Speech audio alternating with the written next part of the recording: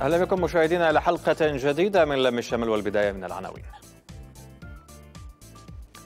مراسيم نقل وتعيين. بشار الأسد يعيد انتشار محافظيه في عدة مدن سورية وينهي تعيين عادل العلبي على محافظة دمشق وغسان خليل على محافظة الحسكة.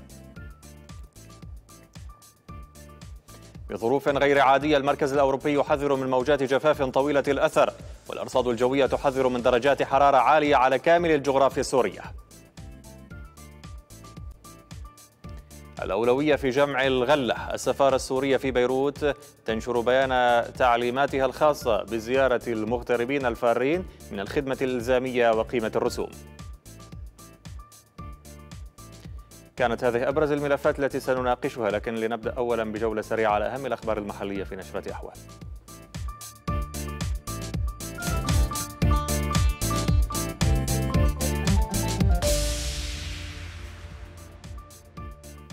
ألقت الشرطة المدنية التابعة للحكومة السورية المؤقتة القبض على امرأة متهمة بتفجير عبوة ناسفة وسط مدينة رأس العين. وقالت الشرطة في بيان نشرت أن امرأة مجندة من قبل قسد لوضع عبوة ناسفة داخل سوق المدينة وأنها اعترفت أثناء استجوابها بوجود عبوة ناسفة ثانية معدة للتفجير في منزلها. كما أشار البيان إلى أن الاستخبارات ومكافحة الإرهاب التابعين للشرطة دهموا منزل المرأة وعثروا على العبوة وأبطلوها وأحضروها إلى مبنى قيادة الشرطة.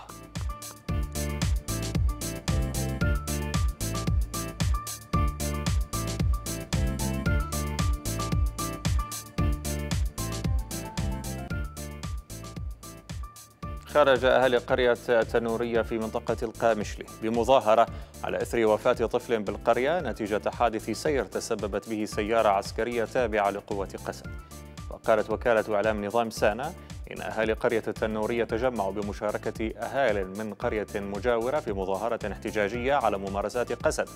أضافت الوكالة أن المتظاهرين قطعوا الطريق العام بالإطارات المشتعلة ورشقوا سيارات قسد بالحجارة وسط دعوات لطردها من مناطقهم وإنهاء وجودها ومنعها من الدخول إلى قرى وبلدات المنطقة.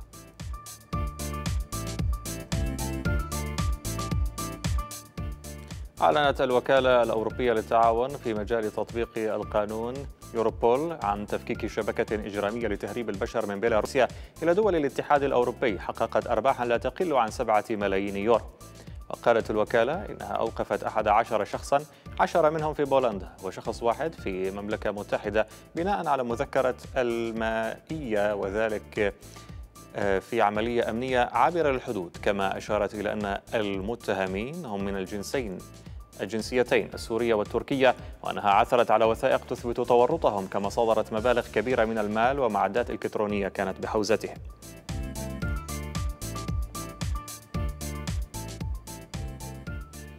أرسلت رئاسة الهجرة التركية تعميما شديدا إلى إدارات الهجرة الموجودة في الولايات التركية بوجوب تحقق سائقي سيارات الأجرة من إذن السفر للأجانب الراغبين بالسفر بين الولايات التركية. وبحسب ما نقله موقع مليات التركي فإن عدم امتثال السائقين للتعميم الجديد سيعرضهم لغرامة إدارية وفقا لقانون الأجانب والحماية الدولية وسيتم اتخاذ إجراءات قضائية بحقهم بتهمة ما سماه تهريب المهاجرين.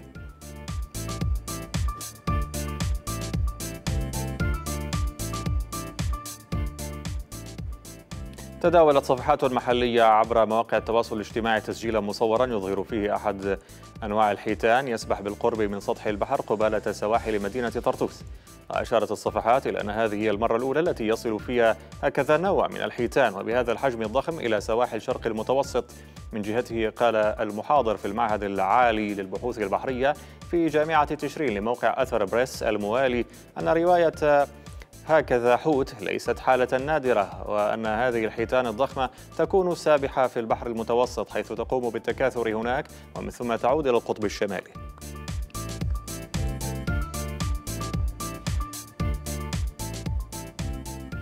رفع الاتحاد الأوروبي شركة أجنحة الشام للطيران من قائمة العقوبات التي فرضت عليها عام 2021 لنقلها طالبي لجوء إلى مينسك ونشرت الجريدة الرسمية للاتحاد الأوروبي أن الاتحاد شطب اسم الشركة السورية من قائمة العقوبات الواردة في قسم الأشخاص الاعتباريين والمنظمات والهيئات. يذكر أن الاتحاد الأوروبي قد فرض في الثاني من كانون الثاني عام 2021 عقوبات على 17 فردا و11 كيانا لمشاركتهم في نقل طالبي اللجوء إلى بيلاروسيا.